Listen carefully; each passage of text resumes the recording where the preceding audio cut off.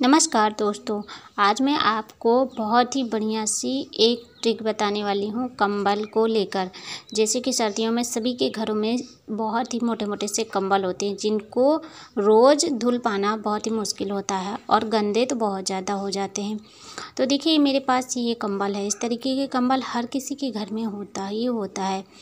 तो देखिए, ये गंदे हो जाते हैं तो उनको धुलने के लिए हम क्या करेंगे जो कि आपको धुलना ना पड़े और आपका कम्बल भी साफ़ सुथरा रहे। तो देखिए दोस्तों, हमने लिया है यहाँ पर एक कटोरी में बेकिंग सोडा। उसके बाद में इसमें टेलकम पाउडर, कोई भी आप जो भी यूज़ करते हैं, डाल दीजिए। छलनी ले जी, ले लीजिए। इसके बाद इसमें मेरे पास ये जो पुराना वाला था कंबल, इसको साफ़ करना ज़रूरी है तो इसको मैं साफ़ कर ले रही हूँ, क्योंकि वो नया था जो मैं पहले दिखाई थी।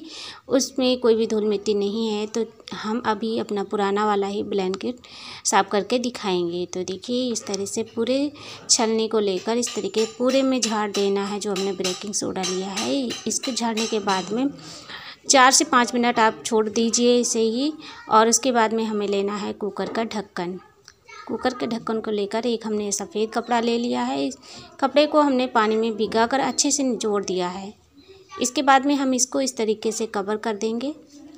तो अभी हमारा ये हथियार बनकर तैयार हो गया है। इससे हम इसको साफ़ करेंगे। इस तरीके से हम पूरे ब्लैंकेट पर इस तरीके से पोछा लगा देंगे। तो देख सकते हैं इस तरीके से करने से इसमें थोड़ी थोड़ी सी गंदगी निकलनी चालू हो गई है। ये हमारा कपड़ा जो था, ये थोड़ा सा पहले ही गंदा था, मैंने बहुत अच्छे तरीके से साफ़ किया, लेकिन इतना साफ़ नहीं हुआ है। तो आप पूरा ब्लैंकेट आप इस तरीके से करके पूरा साफ़ कर दीजिए। साफ़ करने में भी बहुत ही आसानी होती है, क्योंकि इसमें हैंडल बना है, इसलिए कोई दिक्कत नहीं होती। तो जो भी धूल मिट्टी गंदगी है, वो साफ़ हो जाएगी। इसके बाद में आइए, हम दिखाते हैं आपको, ये कपड़ा खोलने के बाद में देख सकते हैं कितना गंदा गंदा से कपड़ा हो गया है। ये देखिए। तो आप इस तरीके से अपने ब्लैंकेट को साफ़ कर सकते हैं बिना धुले।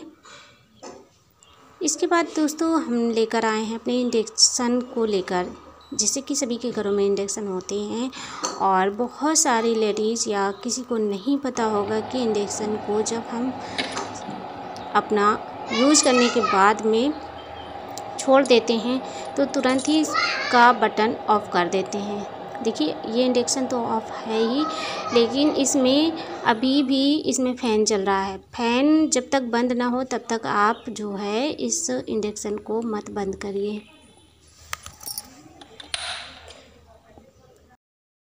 इस तरीके की आपके पास भी ब्लैंकेट की जो ये कवर आती है, जिससे हम लेकर आते हैं, इस तरीके से होगा ही। तो ये एक प्रकार से पन्नी ही है। तो ये पन्नी ना फट जाती है कभी कभार कभी कदार क्या जब भी हम रखते हैं क्योंकि जिस तरह से दुकान पर फोल्ड करके हमें दिया जाता है, उस तरह से हम नहीं फोल्ड कर पाते हैं। तो ये जो है, पन्नी हमसे फट जाती है किसी न किसी जगह पर रखने से या कुछ भी। तो देखिए, मेरी भी पन्नी फट गई थी। शायद आपको इसमें नहीं लगा, लग रहा होगा कि ये पन्नी फटी हुई है। तो ये पन्नी पूरी फट गई थी। यहाँ से लेकर ये पूरा यहाँ तक फटी हुई है। तो इसको मैंने किस तरीके से अच्छे से कवर कर दिया है, जिससे कि हमारा ये जो ब्लैंकेट है, ये खराब ना हो, कंबल जो हमारा है रजाई ये ख़राब ना हो। क्योंकि अभी हम ठंड में यूज़ करेंगे, उसके बाद में फिर हमें इसी कवर में रखना होगा तो इसलिए हम इसको, और ये काफ़ी अच्छा भी इसमें अच्छे से चैन लगे होते हैं तो इसको हम ऐसे नहीं फेंक सकते हैं। अगर हाँ अगर आपके पास रखने के लिए बहुत ही अच्छे से जगह है तो आप इसको फेंक सकते हैं, वरना आपके पास जगह नहीं है अच्छे से रखने के लिए तो आप इसको संभाल के रखिए, और इसको फट फट गई है तो आप किस तरीके से इसको जोड़ सकते हैं। मैं आपको दिखाती हूँ। देखिए, ये जो दोनों किनारे थे, ये भी फट गए थे दोनों। क्योंकि हमने इसको नहीं रखा था अंदर, इसको किसी और ने भर कर रख दिया था तो ये जो है, दोनों साइड से पूरा फट गया। तो देखिए, हमने अंदर के साइड से इसमें टेप लगा दिया है। यहाँ पर आपको देखिएगा नहीं, जिस तरीके से ये पूरा सिला हुआ है, उसी तरीके से मैंने यहाँ पर अंदर के साइड से टेप चिपका दिया है और बाहर के साइड से भी चिपकाया है। इधर भी हमने चिपकाया है, देख सकते हैं। ये देखिए पतला सा हल्का दिख रहा है टेप मैंने जहाँ जहाँ लगाया, पूरा ऊपर से नीचे तक मैंने टेप लगा दिया है और आइए आपको दिखाती हूँ। यहाँ पर देखिए मैंने एक, जो मेरे पास पन्नी थी, इस तरीके की। बहुत सारी आपके पास टाइट पन्नी पड़ी होंगी तो मैंने इस पन्नी को अंदर से लगा दिया, उसके बाद में देखिए ये देखिए, ये हमने पूरा टेप लगाया है इसमें। देखिए, यहाँ पर ये जो पन्नी लगी हुई है अंदर से थोड़ा थोड़ा दिख रही है। बहुत ही ध्यान करने पर ही दिखेगी, वरना ऐसे नहीं दिखेगी, फिर भी हमारा कंबल तो है सुरक्षित रहेगा। और हमने जहाँ पर ये इसके पन्नी फटे हुए थे, वहाँ वहाँ मैंने इसको, जो मेरे पास ये वाला था टेप, पानी कलर का, इसको मैंने लगाया। अंदर से लगाया, एक और बाहर से भी लगा दिया। तो देख सकते हैं, पूरा अच्छे से दिख रही है, कहीं भी फटी नहीं नज़र आ रही है।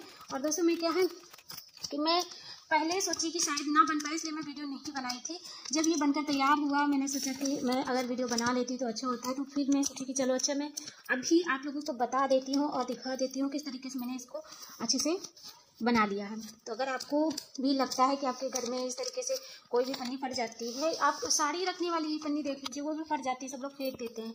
तो इस तरीके से फेंकिए नहीं। अगर आपके पास सेम ऐसे ही पन्नी है तो आप जो है ना मशीन में भी सिलाई करके सही कर सकते हैं। मैं इस तरीके से जोड़ कर रख लेती हूँ ताकि क्योंकि पूरा इतना अच्छा सा है और इसको हम फेंक देंगे ऐसे। तो नहीं अच्छा लगता, इसलिए मैं जो है जोड़ कर ही रखती हूँ।